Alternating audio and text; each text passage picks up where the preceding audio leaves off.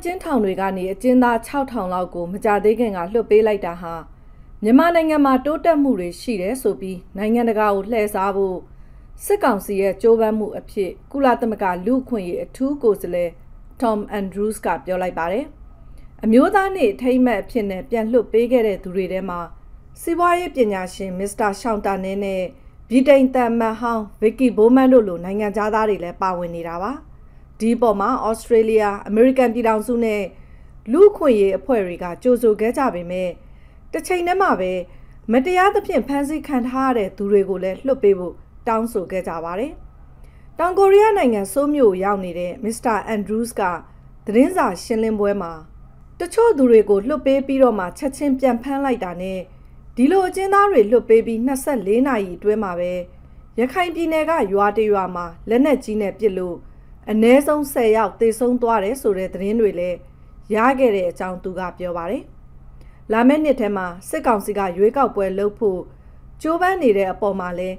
ဒါဟာလက်ခံနိုင်စရာမရှိတဲ့အတိတ်ပဲမဲ့တဲ့လုပ်ရက်လို့မစ္စတာအန်ဒရူးစ်ကဝေဖန်သွားပါတယ်။ Any claims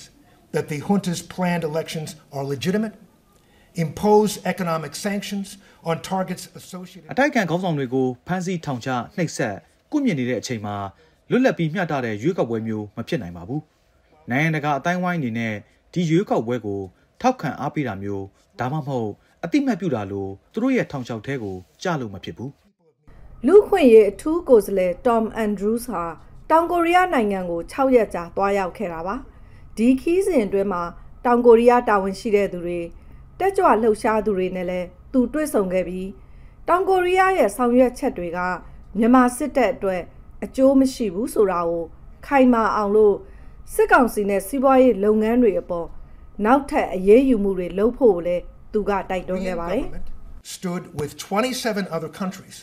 in establishing economic sanctions အာဏာသိမ်းစစ်ကောင်စီကစီစဉ်ထားတဲ့ရွေးကောက်ပွဲဟာတရားဝင်တယ်လို့ပြောဆိုတာမှန်သမျှပြင်းပြင်းထန်ထန်ရှုတ်ချဖို့စစ်ကောင်စီနဲ့ပတ်သက်တဲ့ပြစ်မှတ်တွေပေါ်စီးပွားရေးဒဏ်ခတ်တာတွေလုပ်ဖို့